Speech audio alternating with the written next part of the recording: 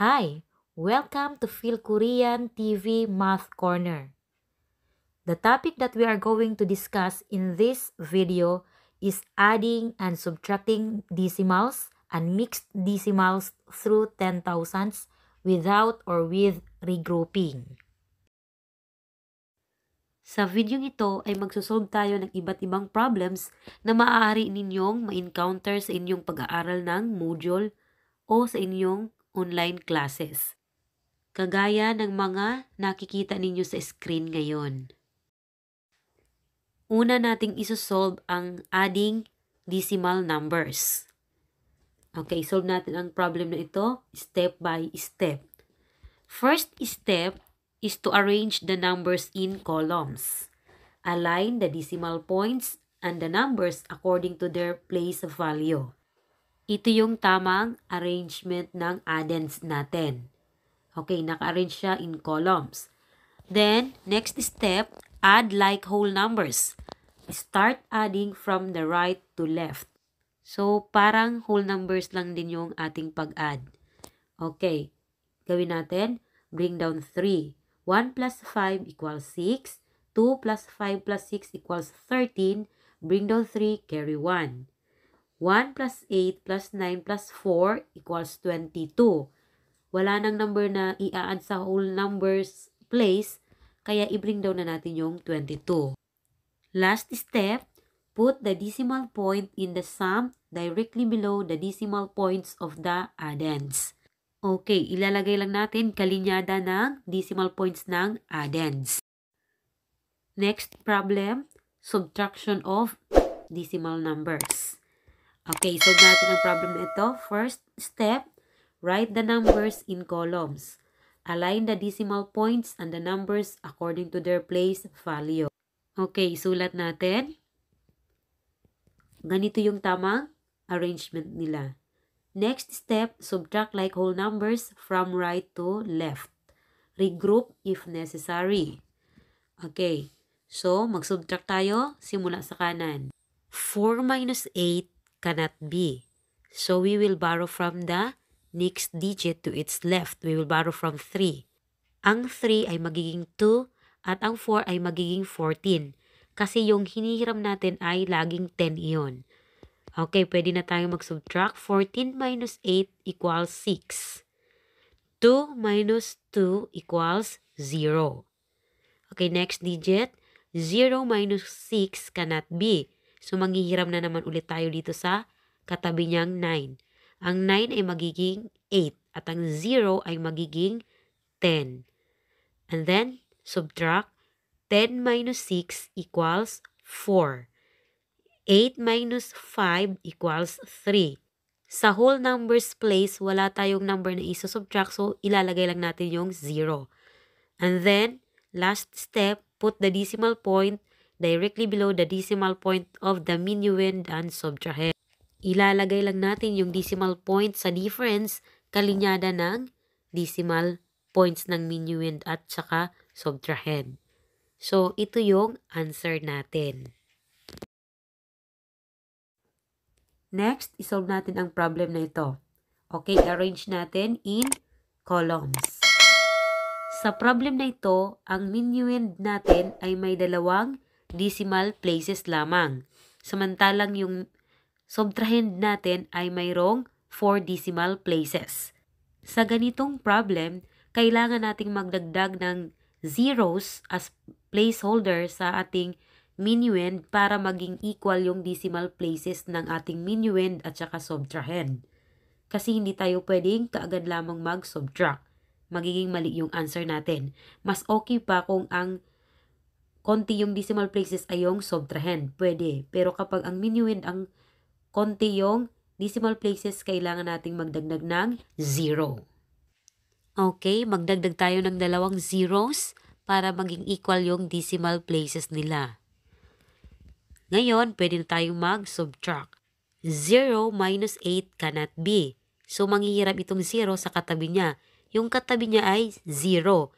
Kaya, manghihiram ito ulit sa 5. So, ang 5 ay magiging 4. Yung 0 ay magiging 9. At yung last na 0 ay magiging 10. Okay, pwede na tayong mag-minus. 10 minus 8 equals 2. 9 minus 5 equals 4. 4 minus 4 equals 0. 7 minus 3 equals 4. Sa whole numbers place, wala namang number na isusubtract, so ilalagay lang natin yung 0. And then, ilalagay natin yung decimal point sa difference, ihanay lang natin sa decimal points ng minuend at saka subtrahend. Ito na yung answer natin. Next problem, mag-a-add tayo ng whole number, decimal numbers at saka mixed decimals. Una natin gagawin ay i-arrange natin itong numbers in columns according to their place value. So, kailangang maging maingat kayo sa pag-arrange ng numbers na kagaya nito. Kasi kapag mali yung pag-arrange ninyo ng numbers, mali rin yung magiging answer ninyo. Kaya tandaan ninyo yung place value kasi magkakahana yung magkapareho yung place value. Okay, mag-add na tayo from right to left. Okay, since yung 8 ay isa lang siya, so bring down 8. Ganun din yung 9, bring down 9. Then, add 2 plus 5 equals 7. Then, 5 plus 6 plus 8 equals 19. Bring down 9, carry 1. 1 plus 5 plus 0 equals 6. At yung last digit, dahil isa lang siya, i-bring down na natin yung 1. Last, ilagay natin yung decimal points sa sum, kalinyada sa decimal points ng addends. Okay, so ito yung answer natin. Next problem is subtraction of mixed decimals. Ganun pa rin naman yung steps na gagawin natin. Una, isulat natin sila in columns. And then, magsusubtract tayo from right to left. Okay, subtract natin. 7 minus 2 equals 5. 4 minus 7 cannot be. So, manghihiram itong 4 dito sa 5. Kaya ang 5 magiging 4 at yung 4 magiging 14. Okay, pwede na tayo mag-subtract. 14 minus 7 equals 7. Then, subtract 4 minus 8 cannot be. So, manghihiram na naman tayo dito sa 6. Kaya ang 6 magiging 5 at saka yung 4 magiging 14. Okay, 14 minus 8 equals 6. 5 minus 4 equals 1. Okay, dito sa whole numbers, 4 minus 5 cannot be. So, manghihiram tayo dito sa 1. Kaya ang 1 magiging 0 at yung 4 ay magiging 14. So, 14 minus 5 equals 9. Okay. So, sunod, lalagyan natin ng decimal point yung difference natin. Siyempre, ililinya din natin sa decimal points ng minuend at saka subtrahend. Kaya, ito na yung answer natin. Next problem, dalawang operations yung gagamitin natin. Kagaya nitong problem na ito. Okay, so Nandyan yung addition at saka subtraction at merong parenthesis. So, sa ganitong problem, una nating isosolve yung nasa loob ng parenthesis. So, meaning, mag-a-add muna tayo bago mag-subtract. Okay, i-add muna natin. I-arrange natin itong numbers in columns. And then, add. 2 plus 1 equals 3. 1 plus 0 equals 1. 5 plus 2 equals 7. 0 plus 0 equals 0. And then, 3 plus 1 equals 4. At lagyan natin ng decimal point. Okay, nakuha na natin yung sum. So, sunod, mag-subtract na tayo. Dito, hindi equal yung decimal places ng ating minuend at saka subtrahend. Pero, okay lang ito kahit hindi tayo magdagdag ng 0 sa uh, subtrahend. Dahil hindi naman makakaapekto sa answer. Okay, isolve na natin. So, i-bring down na natin yung 3. And then, 1 minus 5 cannot be. So, manghihiram tayo dito sa 7. Ang 7 ay magiging 6 at yung 1 ay magiging 11. So 11 minus 5 equals 6. Then 6 minus 7 cannot be. Mataas na naman yung 7 sa 6. So manghihiram tayo dito sa katabi. Since yung katabi ay 0, so yung 0 manghihiram muna dito sa 4. Kaya ang 4 magiging 3, yung 0 ay magiging 9, at yung 6 ay magiging 16. Okay, pwede nang mag-subtract. 16 minus 7 equals 9. 9 minus 0 equals 9. And 3 minus 1 equals 2. Then, lagyan natin ng decimal point. So, ito na yung final answer natin sa given problem. Let's solve another problem. Lagi ninyong tatandaan na kapag ganito yung problem, uunahin ninyong isolve ang nasa loob ng panaklong o parenthesis. Kaya, magsusubtract muna tayo bago mag-add. Okay, gawin natin. I-arrange natin yung numbers in columns. Tingnan ninyo yung minuend. Tatlo lang yung decimal places. At yung subtrahin may apat. So, kailangan natin magdagdag ng 0 para maging equal ang kanilang decimal places.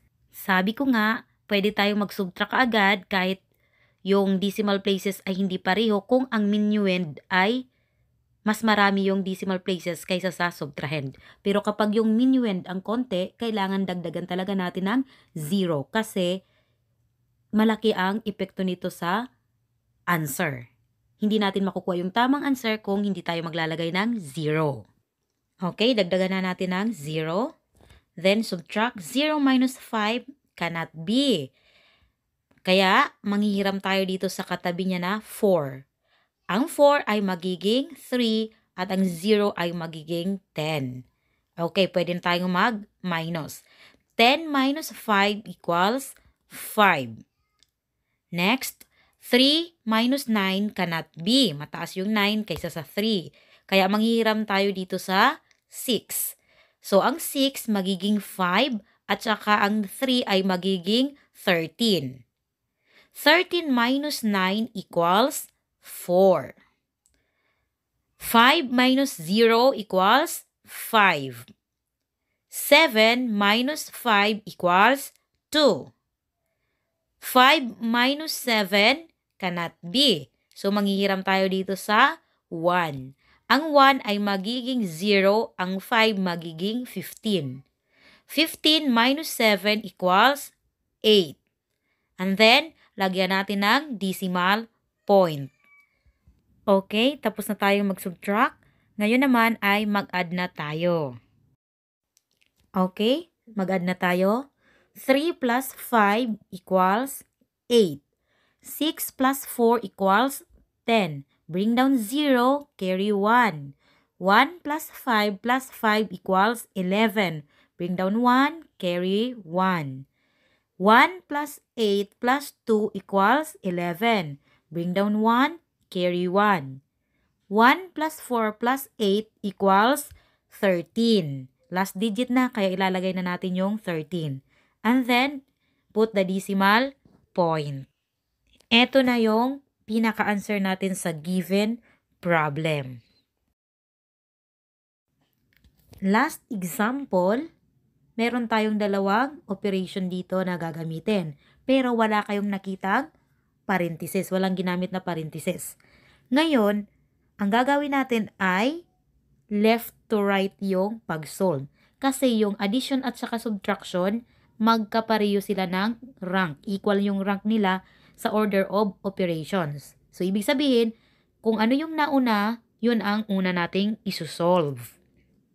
Addition yung nauna, kaya mag-add muna tayo bago tayo mag-subtract. Okay, arrange natin ang numbers in columns and then add. Okay, so yung 1, dahil isa lang siya, bring down 1. 7 plus 2 equals 9. 8 plus 0 equals 8. 5 plus 5 equals 10. Bring down 0, carry 1. 1 plus 0 plus 9 equals 10. So, ilagay na natin yung 10 kasi last digits na yung inad natin. Then, lagyan natin ng decimal point. Nakuha na natin yung sum. Sunod ay mag-subtract na tayo. Okay, mag-subtract tayo. So, dito, yung subtrahend, dalawang decimal places. Yung minuend, apat. So, okay lang ito. Hindi tayo magdadagdag ng zero. Dahil hindi naman ito makaka-apekto sa answer. Okay, so, yung 1, i-bring down lang natin. Ganon din yung 9, bring down 9. 8 minus 2 equals 6. 0 minus 7 cannot be. So, manghihiram tayo sa katabing number. Yung number na katabi ay 0. Kaya manghihiram itong 0 dito sa 1. Kaya ang 1 magiging 0. Ang 0 ay magiging 9 at itong last na 0 ay magiging 10. Okay? 10 minus 7 equals 3. 9 minus 0 equals 9. And then, lagyan natin ng decimal point. Ito na yung ating final answer. So, sana po ay natutunan ninyo yung pag-add at pag-subtract ng decimal numbers at saka mixed decimals.